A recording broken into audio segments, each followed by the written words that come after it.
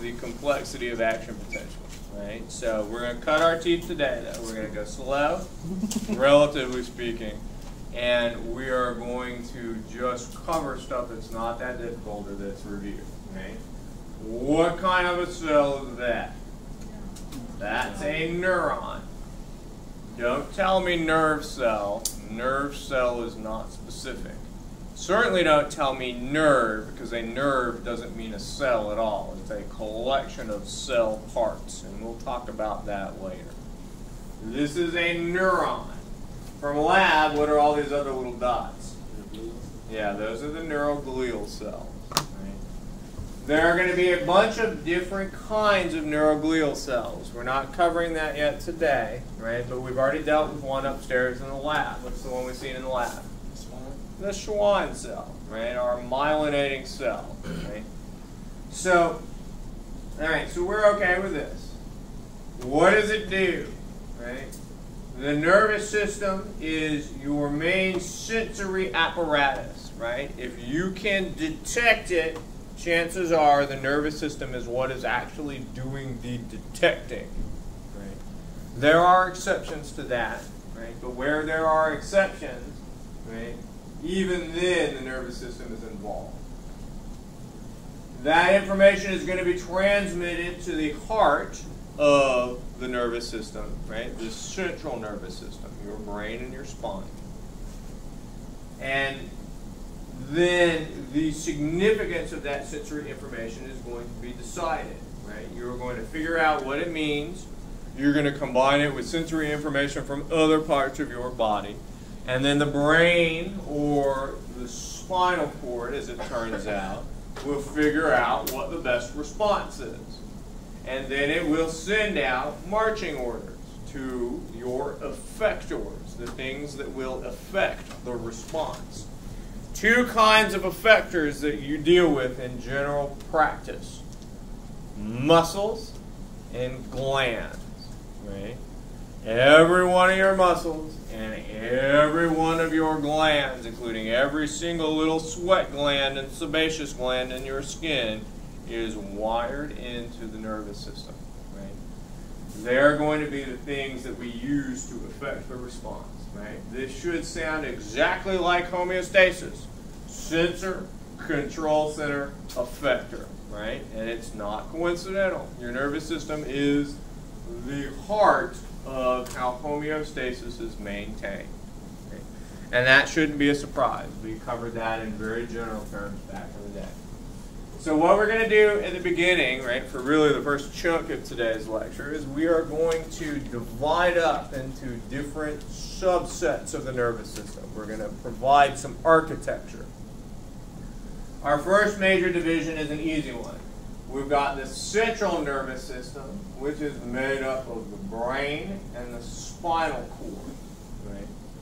And then we've got the peripheral nervous system.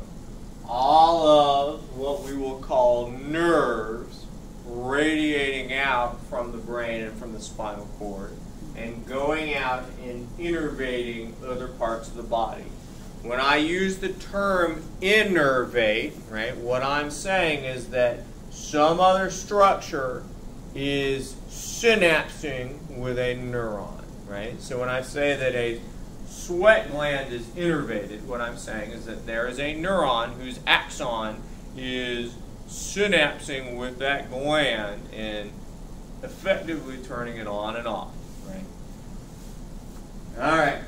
Have we heard these terms before? Before uh, have we heard? I, am sure that we've heard central nervous system, right? Have you all heard peripheral nervous system before? All right. So this is easy so far.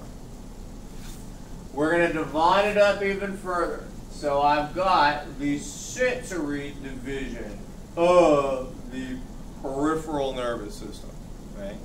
This is the this is what's responsible for perceiving the environment both on the outside, right? Clearly, we can detect stuff going on on the outside. You can tell when something lands on your skin, right? You can see and hear and smell the world around you. You've got a lot of your sensory division, though, that is monitoring not the world outside, but is also monitoring the world inside. You can tell when you are in the middle of a myocardial infarction because it hurts, right? That's all the sensory division. So the sensory division, part of the peripheral nervous system, the actual neurons in the sensory division are called sensory neurons. They are they are basically perceiving stimuli. Have y'all used the term stimulus before? Right. Usually in the context of stimulus and then response. Again, coming back to that homeostasis stuff. Our stimuli can fall into a bunch of different categories, but basically it's going to, we're perceiving one of two things at the end of the day. We are perceiving the presence or absence of chemicals, right? Our sense of taste, for example, is the presence or absence of certain chemicals. Or we're sensing energy, right? When you sense pressure, you're sensing the force actually being applied to your skin, right?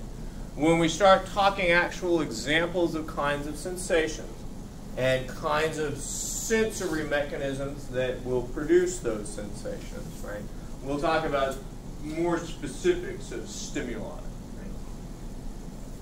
So there is a sensory neuron. There is some part of this sensory neuron called a receptor. A receptor is something that receives something, right? the actual receptor, usually it's some kind of protein on the actual surface of the neuron, although there are lots of different ways to accomplish this. The sensory receptor is the part of the neuron that actually senses the environment. And again, we can sense the outside world, we can sense the inside world, right? One of the best examples of this ability to sense the internal environment, right, is if you close your eyes, even with your eyes closed, you know exactly where your body and your limbs are in three dimensional space. So that you can easily reach out and touch your nose every single time, even though you're not looking. Right? Y'all done this before? Mm-hmm. Anybody have to do it where it matters? Right? Anybody end up doing something like this before? Right? I, I passed. this is proprioception, right? This sense of position, right? If you alter your neural networks chemically, right? If you alter these signaling pathways chemically, right? There's an effect. And one of the ways you tell intoxication is because it interferes with this sense of internal environment what proprioception actually is doing is every single one of your skeletal muscles is innervated. Not just to control the contraction of the skeletal muscle, but it's got a separate set of innervations that are designed to detect how taut the muscle is, how contracted each and every one of your muscles are. And some of your ligaments and tendons also have their own stretch sensation to determine how much force there is pulling. And if you know how every one of your muscles is contracted, you know exactly where that limb is in three dimensional space. We'll come back to this concept later. This is actually significant for a number of reasons, only one of which is this three dimensional image of our body in space. So, but sensory neurons can detect stretching.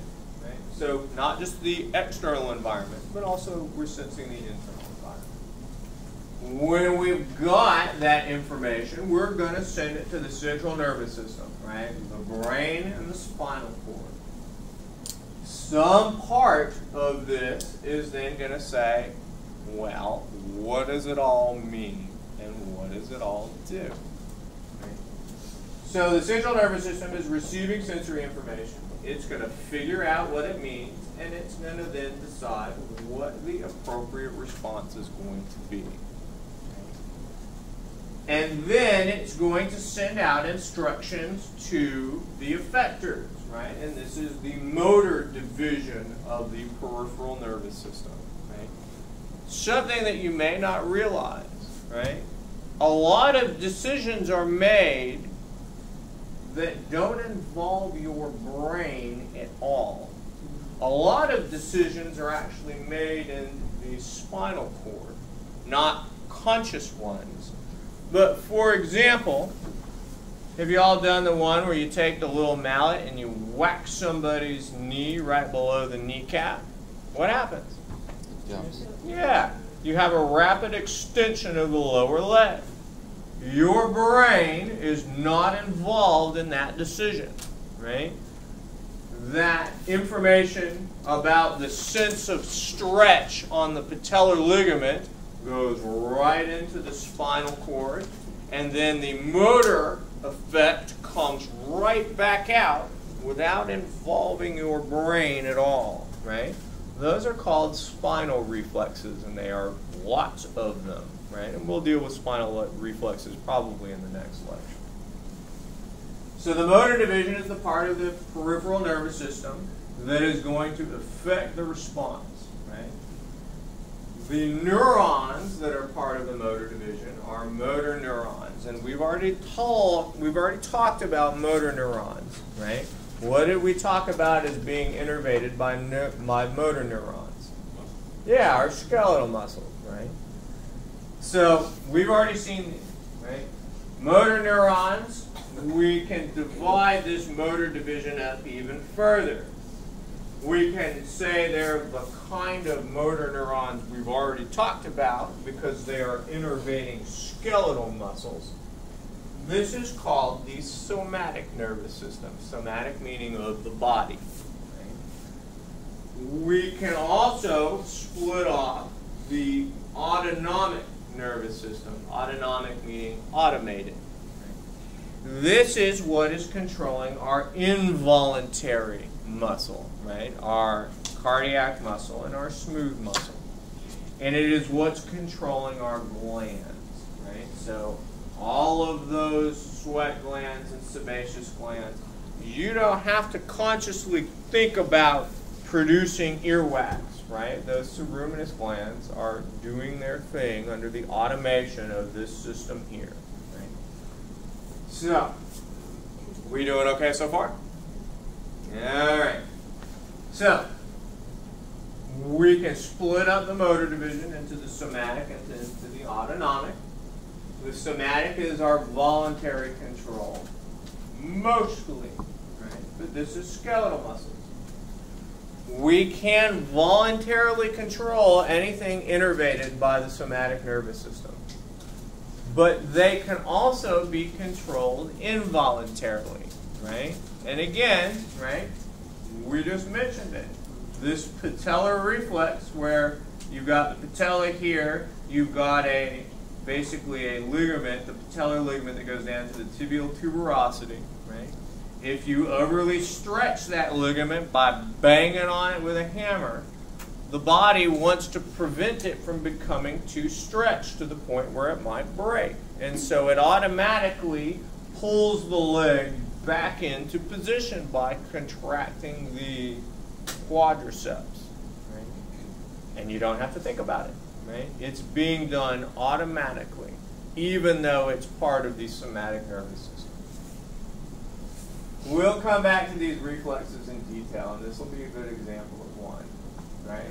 But again, these automatic patterns, these automatic controls of otherwise voluntary systems, they can be overridden, right? One of the things the doctor will usually tell you when you're doing this is you have to relax your leg, right? If you're consciously telling your muscles to keep it in position, it doesn't matter how he bangs on that patellar ligament, right? You're not going to stimulate that reflex. Reflexes usually can be overridden, right? and we'll come back to this concept as well. The autonomic nervous system is involuntary. It is not under conscious control. It is controlling things that are also involuntary, like smooth and cardiac muscle, but also a lot of a lot of glandular secretion. This is going to be a big part of A&P2 if A&P2 is going to be taught the way I think it's going to be. Because the autonomic nervous system is, we're going to split this up, into the sympathetic branch of the autonomic nervous system. The lay term for this is your fight or flight response, right? Have y'all heard of the, the expression fight or flight? This is the set of automatic reactions that are gearing your body up for action, for doing something, right? That doing something could be running so that you don't get eaten, right? It could be engaging in coitus with your favorite partner, right? All of this is action, and all of it is under the control of the sympathetic branch of the autonomic nervous system, right? Preparing you to do something. So there will be effects of sympathetic nervous activation, right? High stress for long periods of time, meaning continual activation of the sympathetic nervous system, that can be bad for you, and there are effects of that. One of the things that you should know is that studying continuously up until the point of the exam means you've got the sympathetic nervous system activated continually. And sympathetic activation inhibits memory storage and retrieval, right? Because your brain's not worried about the minor details. It just wants to get shit done, right? so it's best to stop studying relax at least an hour or two before the exam to help your brain slow down and process some of this information. That would have been helpful about three tests ago, man. the other half of this is the parasympathetic branch, right? There's another kind of you know lay term for this that's not as in wide circulation called the rest and digest, right? When you're being chased, right, you don't need to worry about whether or not you're efficiently metabolizing that last meal. But once you have gotten away, once your body starts to slow down, then you can do stuff like turn on digestion. Right? This is going to be a big part of A&P2 as a result, because one of the big things you do in A&P2 is that whole of the alimentary canal from mouth to anus. Right? Is also right controlling renal functions. Right? you, when you are trying to get away from the thing that's chasing you, not a good time to stop and go pee, right? So the sympathetic nervous system will inhibit renal function, whereas the parasympathetic, right, will start to increase renal function and the micturition reflex, which is how you void your bladder. Right? So what you will find is that in fact a lot of systems in A&P2 are going to be innervated by both of these things and they will have opposite effects on the same organ. Right? So I suspect these are going to be big parts of A&P2. Right? So this is our division. Nervous system into CNS and PNS, PNS into motor and sensory, motor into somatic and autonomic, autonomic into sympathetic and parasympathetic. We're going to have one more division that we'll do at the very end. We're going to divide up sensory into the general senses and the special senses.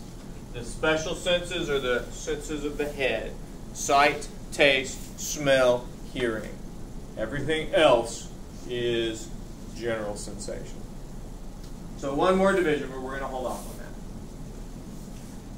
So,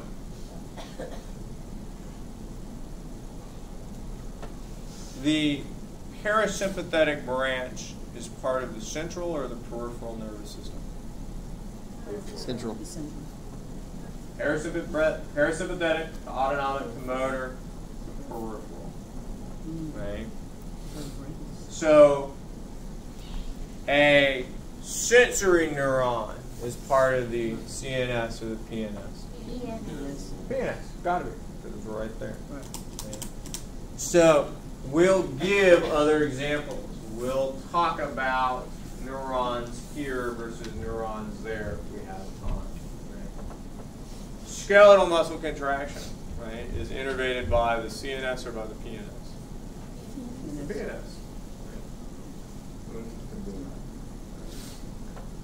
So Now, best to be able to draw this out, just straight up. We're not talking about individual types of central nervous neurons, right? Although there are lots. Most central nervous system neurons are connected with one another, right? These are the heavily involved branching pathways of the brain.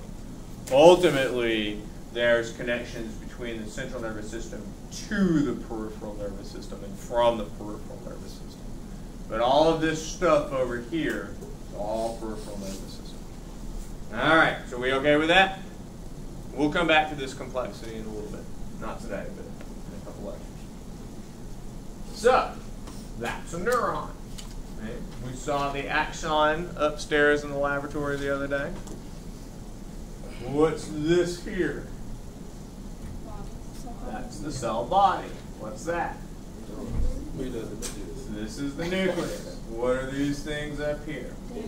Dendrites, right? So we know all this from the lab already, so that's pretty easy.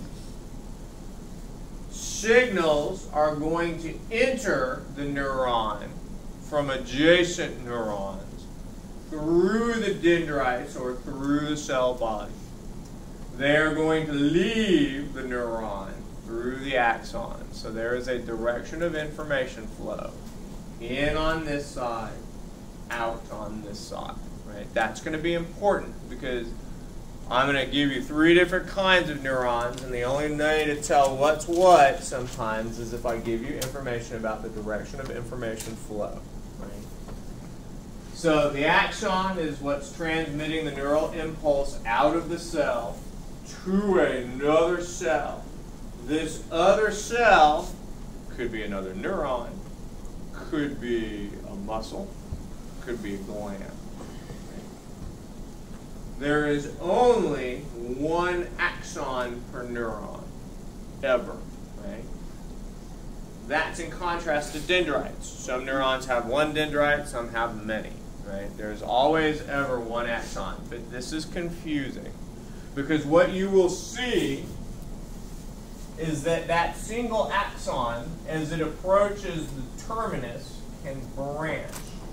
And if you go back and you look at those pictures of motor units back from the previous section, what you see is the axon then branches at the very end and innervates different muscle fibers. Only one axon, though. Everybody understand? Lots of dendrites sometimes, sometimes just one. This is how we're going to really start to categorize by the arrangement of the dendrites. The dendrites are receiving information from another cell, or if you are a sensory neuron, from whatever stimulus is generating an effect in the receptor. You can have lots of dendrites per neuron. It just depends on what type of neuron you are. The cell body, this is where most of the cytoplasm is and where most of the organelles are. You can also receive electrical communications at the body itself. Go up and look at those models of the neuron, and you'll see that some of those synapses are on the dendrites, and some of those synapses are on the body of that cell. Right? So you can receive information either at the dendrites or at the body. We already talked myelination upstairs in the lab. Right? What you should have learned was that these are electrical signals we're sending down the length of the axon. And just like the wiring in our walls, sometimes you've got to insulate those wires. We're going to insulate our axons with something called the myelin sheath. What you do is you take the membrane from another cell and you wrap it around and around and around and around that axon, and that's going to insulate it. On Tuesday, we're going to talk a little bit about how that insulation actually works, right? But that's not until Tuesday. And what's the name of the myelinating cell upstairs? A Schwann cell. There's going to be another myelinating cell we'll deal with in here. Schwann cells are myelinating cells of the peripheral nervous system. We're going to introduce the one for the central nervous system when we get to it in the next lecture or so.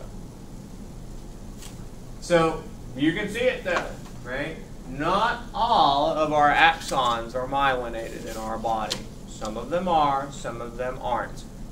Myelination is going to increase the speed of signal propagation, and they're going to make sure that it is done as energetically efficiently as possible. Right? So, some of our axons don't need to be very efficient in their communication. It's okay if there's a lag. Right? Some of our communications need to be near instantaneous. Right? You don't want a long delay between your brain saying, do this, and your muscle actually contracting, because that makes it hard to coordinate things. Right? So the faster that signal needs to be, the more likely that axon is to be myelinated. Right? What is um, the axon need to be insulated? Have insulation on it? So again, this is something we will talk about in the next one. Insulation speeds up the rate of communication, right? So in very simple terms, it allows you to communicate much more efficiently, much faster, right?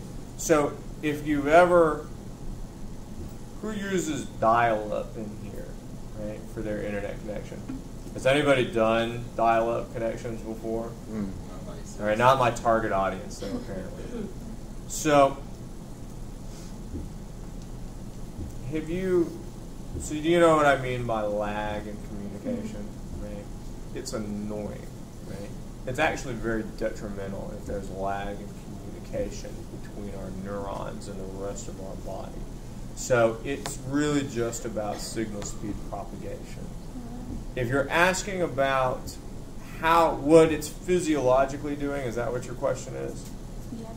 Yeah, kind of. That's complicated, and that's what we're going to do on Tuesday. So can, can you wait? Yeah. Okay. At the end of the day, it insulates the axon and it speeds up propagation of the neural impulse. The faster it goes, the more efficient your communication. Right?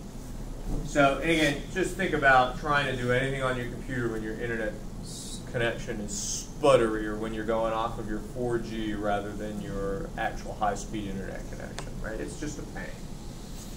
So there's a gap in between myelinating cells, though, where you have a little bitty region of exposed axon.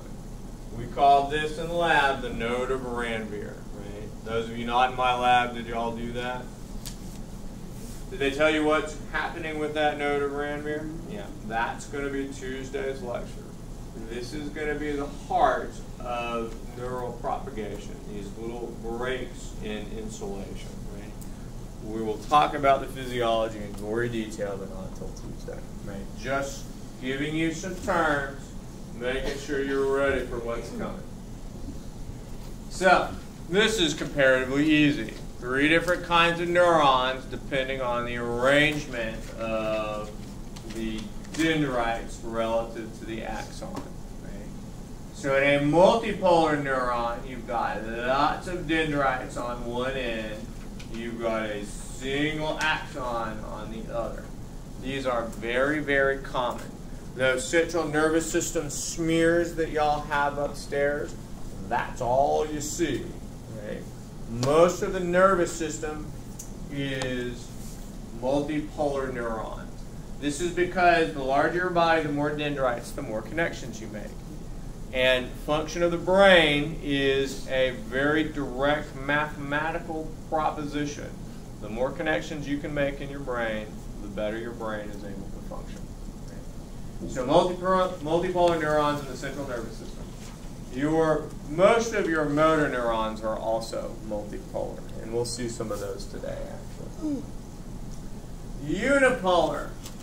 Most of your general sensory neurons, meaning your senses associated with your skin, your proprioception, most of those are unipolar. They have a cell body. They have a single stalk. that leads to one great big long process that goes off in either direction. We're going to arbitrarily designate one side, the very tippy tip of one side, the dendrite, and the whole rest of it is axon. The only way to tell which is which is if I tell you the direction of the communication. I would have to tell you that the signal is going from here to here in order for you to know that this is the dendrite and this is the axon. Right? if I don't give you that information, you can't tell. We will see where these are today because when we go upstairs and start dealing with the spinal cord, right, I'll point out where these bodies of your sensory neurons are. Right? Most general sensory neurons are unipolar. Bipolar neurons have a dendrite on one side, axon on the other. You can't tell the difference, though, unless I tell you the direction of signal propagation again. These are relatively rare where you find them is often associated with the special senses, senses associated with your head. The one that we're going to give a name to is in vision. Because in vision, you would call them rods and cones. Have y'all done rods and cones? Nobody's done rods and cones before in high school? Okay, a couple. Which one is black and white? I don't, I don't remember. Yeah, it's a long time. Oh, cone is color. Good, there you go. C for color. Excellent. Okay, so now, action potential. Neurons are communicating via electrical impulses. We should all know that at this point. We should all know this slide. Calcium and sodium on the outside, potassium on the inside. I had a lot of people miss this question, despite the fact that I told you this is the most important thing, and it's going to be on every single assessment from here to the end, right? And sure enough, it's on that first homework assignment, right? So, calcium, sodium on the outside, potassium on the inside. Our anions, there are going to be two I'm going to hold you responsible for. Chlorine on the outside, right? That's why there's sodium chloride in the blood, and that's why it's salty. You've got a lot more protein on the inside, though, than you do on the outside. And most proteins carry a negative charge, making them anionic. If you were to take the numbers of every single one of the cations and anions and add them up and multiply them by their charge, you would be able to figure out the overall polarity of the membrane. Slightly positive on the outside, slightly negative on the inside. Again, we've done this already. Right? So the result is some kind of voltage, right? This membrane carries a voltage, and so it is said to be polar. Right? Do we remember all this from the last one? Mm-hmm. All right, good. This is called the resting membrane potential. This is what you have in a cell that is not currently communicating. When we communicate, we're going to move ions around and change this resting potential. So, action potentials. Neurons communicate by electrical impulses. We're going to move ions via facilitated diffusion from one side of the membrane to the other. What we have talked about so far is what happens when you depolarize the membrane, right? Because what we said is the only one we cared about was sodium. You move sodium from outside to inside, you depolarize, that generated an action potential. We are going to talk about the dynamic nature of action potentials, right? About how it's a wave of moving depolarization. We're really going to hit that hard this time for real. Got my membrane, got my ions, got my other ions, got a voltage. What happens to the voltage? What happens to this number if I take sodium and move it here? Does this number get closer to zero or does it get farther from zero? It gets closer to zero, right? That's what we said it means to be depolarized. What happens if you move calcium? Same. Same thing. It gets depolarized. If You move a positive charge to the negative side, that's going to bring this closer to zero, and that's going to depolarize your membrane. So, movement of sodium and calcium will depolarize the membrane. If you do that enough, you generate an action potential in the cell that is becoming depolarized. Okay. So, we said that we needed a channel. We said that if it continues unabated, you end up at zero millivolts. That's fully depolarized. Okay, now let's put it into some context. Got a neuron, cell body, axon. I have the synapse, right? The junction of one cell and another. This is not a neuromuscular synapse. This is an interneuronal synapse. There's a cleft in the middle. What are we going to dump into the cleft when the action potential reached the end? It was acetylcholine and a neuromuscular synapse. Mm-hmm. It could be any one of a bazillion different neurotransmitters. Right? Neurotransmitter, though. We're going to stick with acetylcholine today because that's what we know. We're going to get a little more complicated on the next step. So action potential reaches the presynaptic terminal. The presynaptic terminal is loaded up with vesicles carrying neurotransmitter. It was acetylcholine when we were talking muscles. There are also interneuronal junctions that use acetylcholine as well, right? So acetylcholine is found in different places. We said that you're going to release it in here.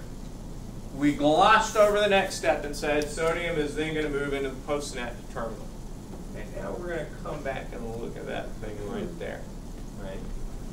So this is important though. I want to stress that, right? And I'm going to do it with my favorite subject, something I actually care about, which is microbiology. Have you all heard of botulism before? Mm-hmm. So botulism is a disease, right? If you go to your cupboard and you have a can of something and the can is dented outward, don't eat it, right? It means that there is some organism on the inside that is currently digesting your food and producing gas, and the gas causes the can to dent outward. One of the things produces a very, very nasty toxin called botulinum toxin. It blocks the exocytosis of acetylcholine into the synaptic cleft. Since that controls muscle contraction, the presence of botulinum toxin prevents contraction of the muscles. The result is flaccid paralysis. Why does flaccid paralysis kill you? Your heart stops. Heart would be a good idea, Yeah. but it's actually just skeletal muscle in this case.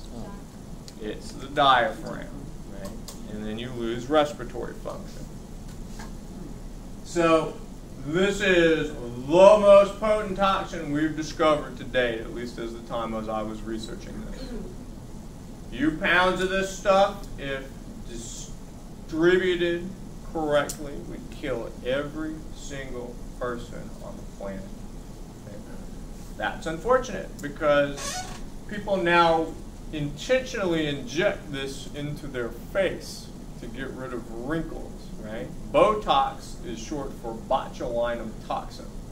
And it smooths out your wrinkles because it paralyzes the muscles in your face, right?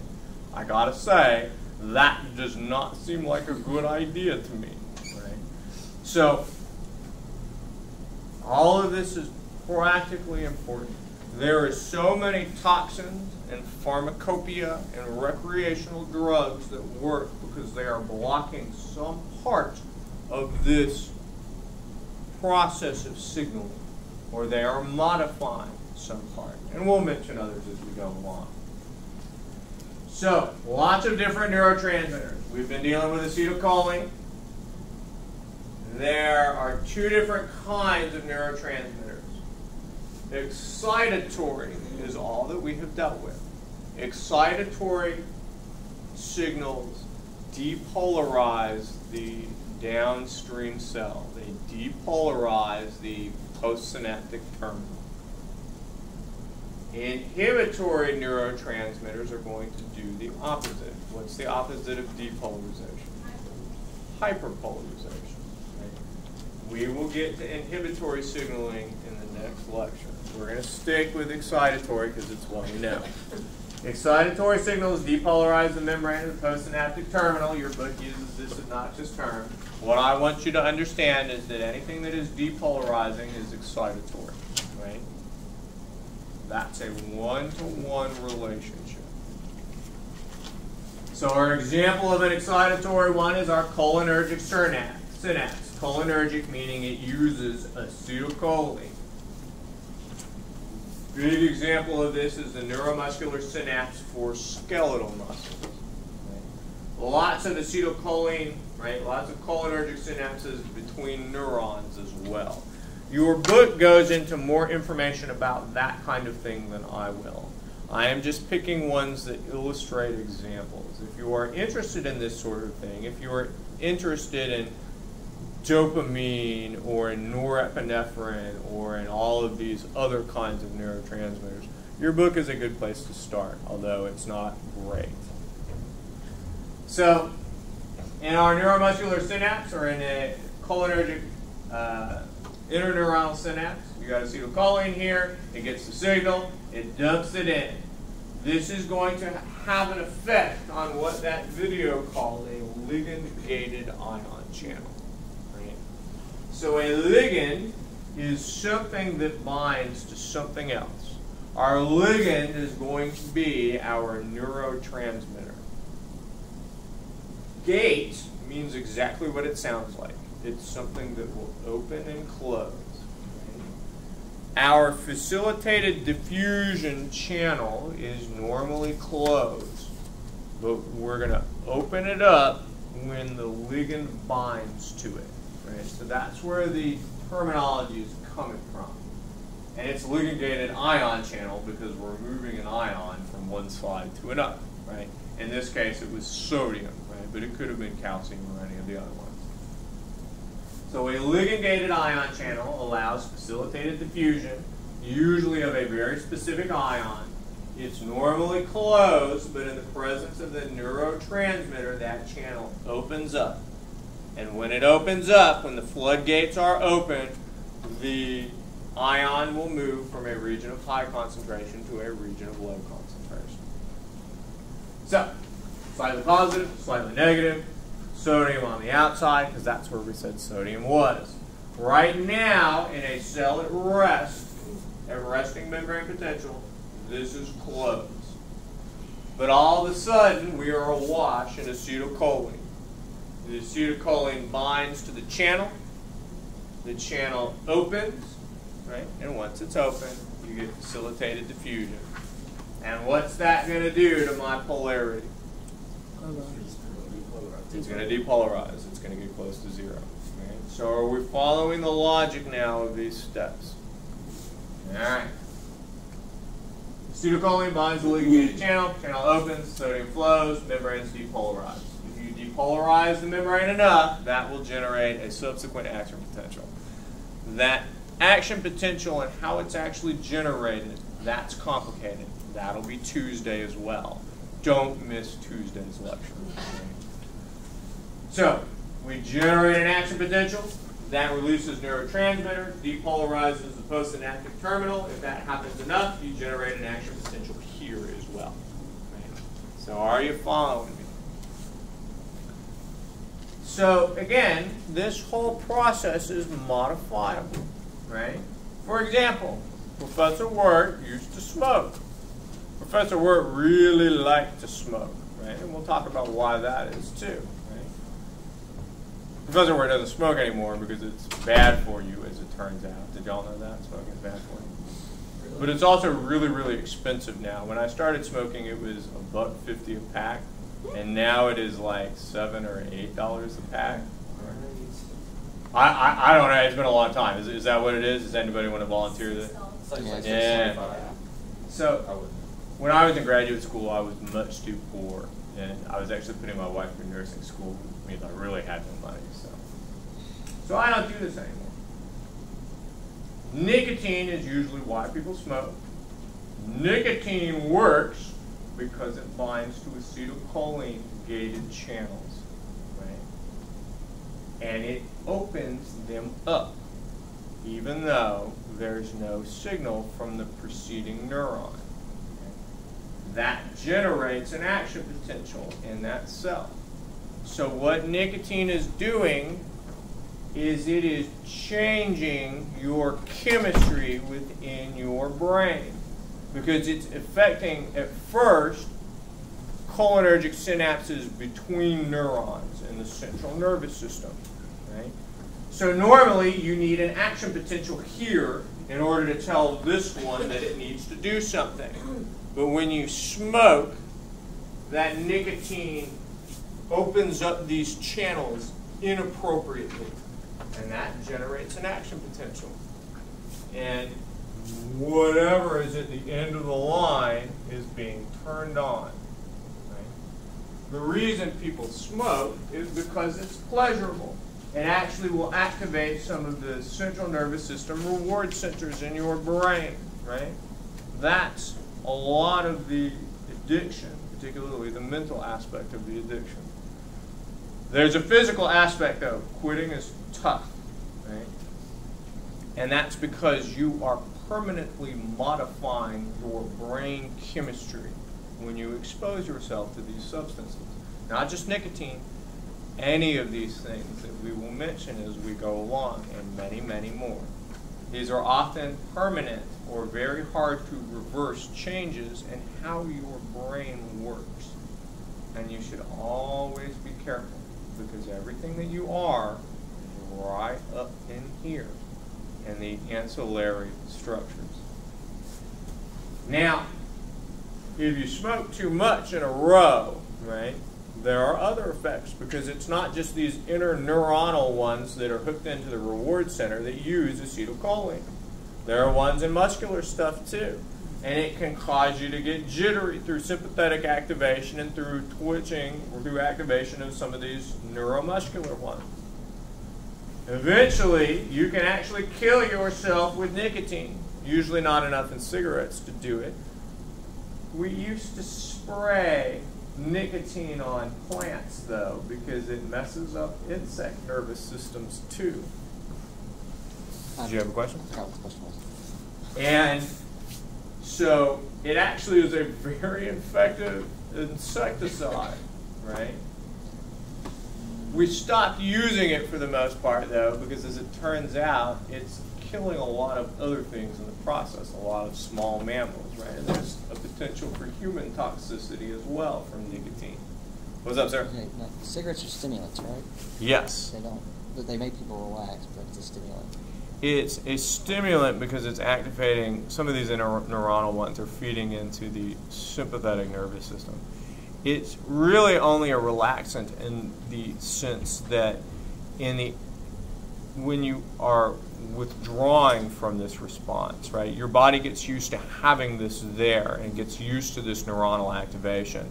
And so when you don't have it, it starts to cause the other aspects, right? When you start turning off these things in the absence of nicotine, there's a whole bunch of ripple effects that happen that people interpret as withdrawal. And so it seems relaxing then if you add back because it brings you back to normal.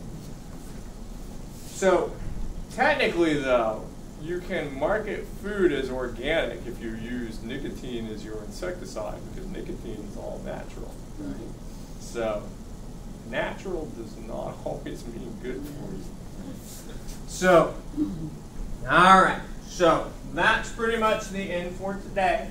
What we are going to next ask on Tuesday is what happens if you move chlorine to the other side. And then we're going to expand on how you actually generate the action potential once you do that initial depolarizing event. Or what happens if you move potassium to the other side. So, I think that's where I stopped on the other one. Where does the one I posted go to? Does it does it go any further? No, Okay. it went to, The one right before the last It one. goes there? no, There? yeah. yeah. Okay. That's perfect. That's where I'm out of the class ended. All righty. So a little preview of